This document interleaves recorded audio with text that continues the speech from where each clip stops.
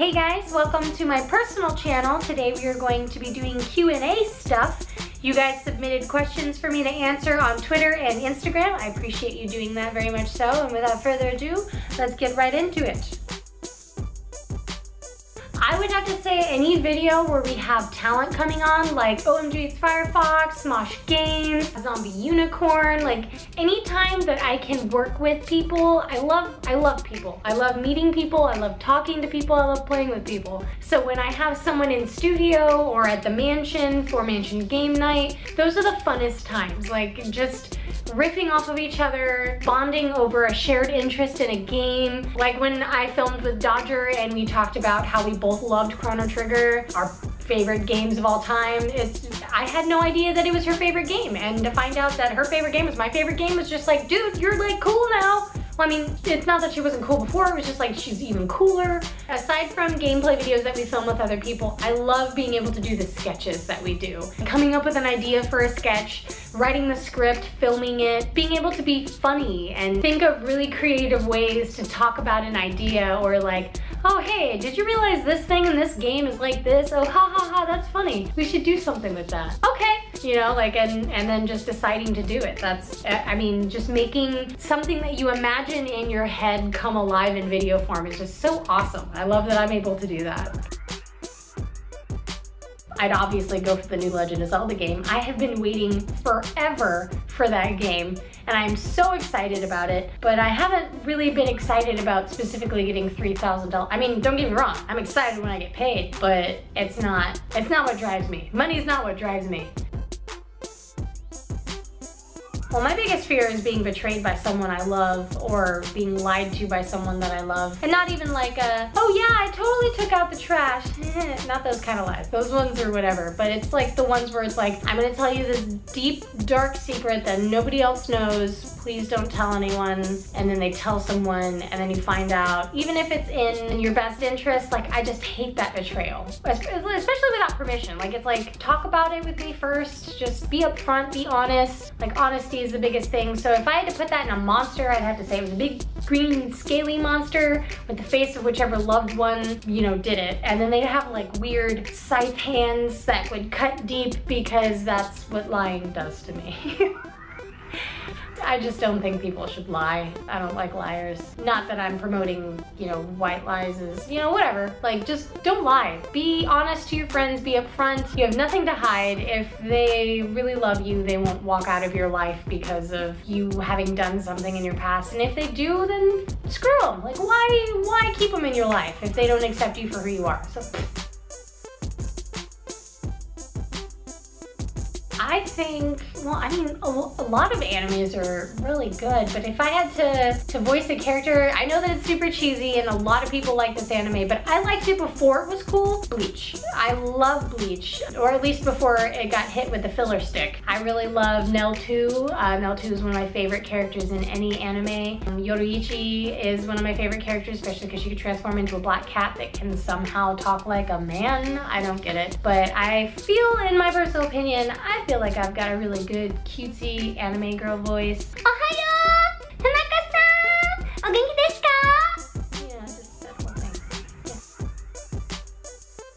For me personally, I actually draw a lot of influence from artists that I know personally. My friend Mike Maurino, he's an amazing artist. My friend Josh Singh, Chelsea Hughes, she's are also known as Aeneia. People who I know personally who are very talented, their work means so much more to me and to see people that I care about make use of these amazing talents that they have is just so inspiring to me. So for them to either pursue a career or even just for fun make a cosplay, just to watch that stuff happen is just, I love doing that. I love supporting that. And you can ask Aeneia. I support all of her, all of her commissions. I've commissioned her so many times to make me all of the earrings, the nerdy earrings that I wear, the Legend of Zelda. Well, I mean, mostly the Legend of Zelda, the Legend of Zelda, the Metroid, the Pokemon earrings and necklaces and really cool stuff that she makes. She makes those all by hand just for me and I love them so much.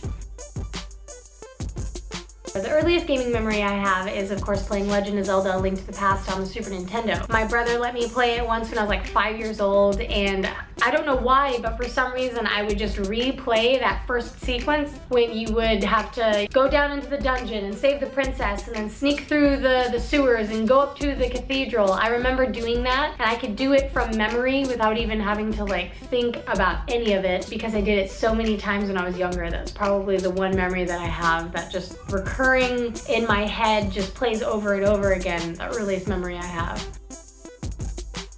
One of the best parts about being a YouTuber is the YouTube community, and that's the viewers and the content creators. I've made a lot of amazing new friends in the last couple of years, and not just like, oh yeah, okay, we're friends, but I mean like meaningful relationships. YouTubers are the most genuinely nice, awesome people, most grounded, down-to-earth people that I have ever known. After being exposed to the Hollywood industry, like it's it's such a huge difference.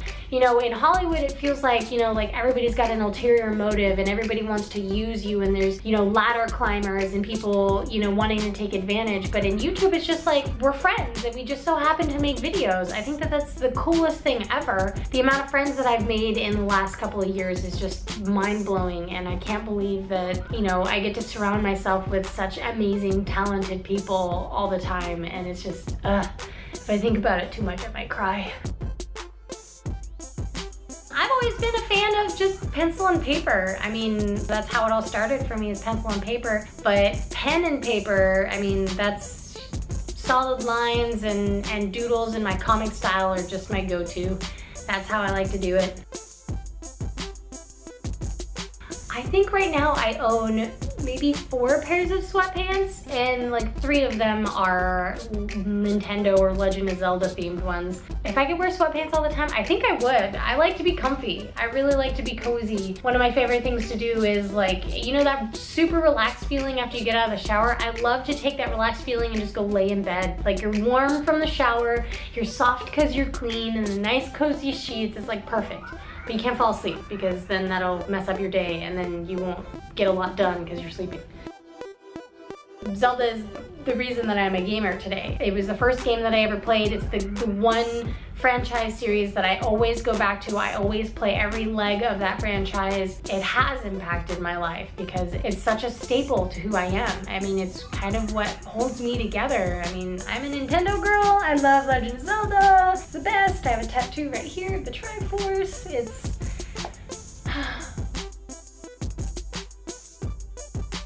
Enough, I met Charles when he was invited to the mansion as a vlogger to cover the Selfless movie. I was hired as a playmate to host the event, to give tours and be like, here's this at the mansion, check this out. It wasn't because I was affiliated with YouTube in any way, it was just I was hired as a playmate to, you know, like Vanna White the mansion. Like, here's this, here's this, hi, how's it going? How are you? Pictures, pictures, you know, that whole thing. Charles is a very open and accepting person and so when he talked to me, he didn't didn't talk down to me because I was a playmate. He was very accepting of who I was, just like such a genuine person. And when genuine personalities meet and connect, it's just, it's a friendship for life. Charles and Alli are probably the first influencers that I've worked with who were really outspoken about how amazing it was that Playboy had playmates that were gamers. Charles was like, they're so cool, they're awesome, you should check out their stuff, you should work with them. He was the first person to connect us with a lot of people that we now work with because he believed in what we do. And Alli and Charles are by far my favorite couple ever. They are the coolest,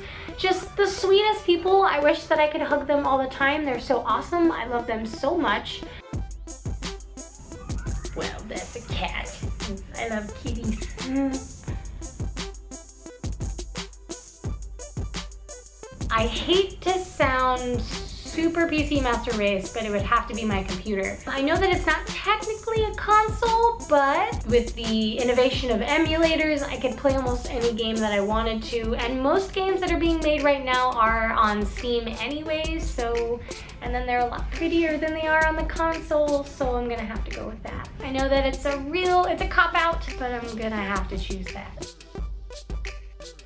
I'm not one to dwell on bad things or negative things or death. I like to talk about life. So in a way, I guess I could talk about how I was almost not born. My mom likes to tell this story to boyfriends and friends and significant others about how, for starters, my parents were both using two forms of contraceptives when I was conceived. And then on top of that, I was also born premature. So I just wanted to live. I was like, yes, I must live. I must fight. I must live and do things because of things and stuff. And so I did. And here I am. Yay.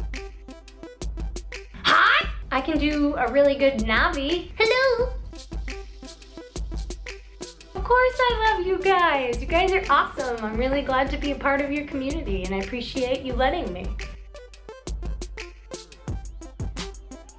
I think I would go for 10 chicken-sized zombies because that makes more sense. Because then I could just like kick them. you just kick those zombies. Give them what for.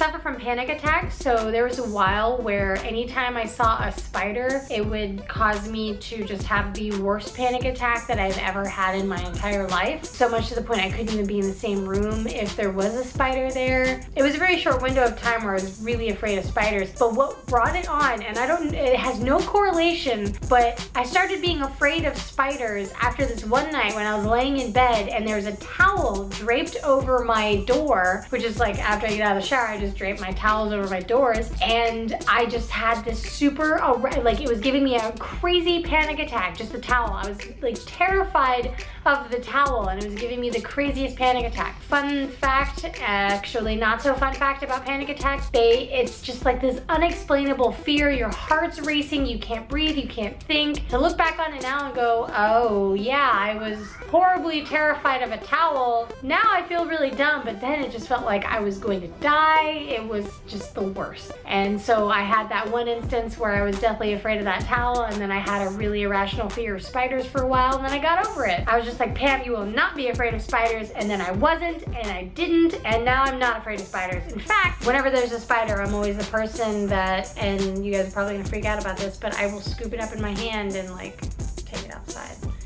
I'm not afraid of spiders anymore.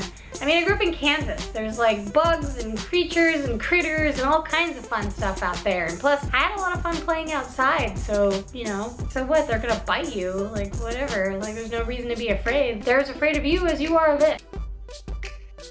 I do have siblings. I am the youngest of four. Um, I have my sister Megan, who is two years older than me. I have my sister Trish, who is five years older than Megan, seven years older than me. And I have my oldest brother Mikey, who is two years older than Trish and nine years older than me. Man, that's really tough. I don't know who who I'd want to play.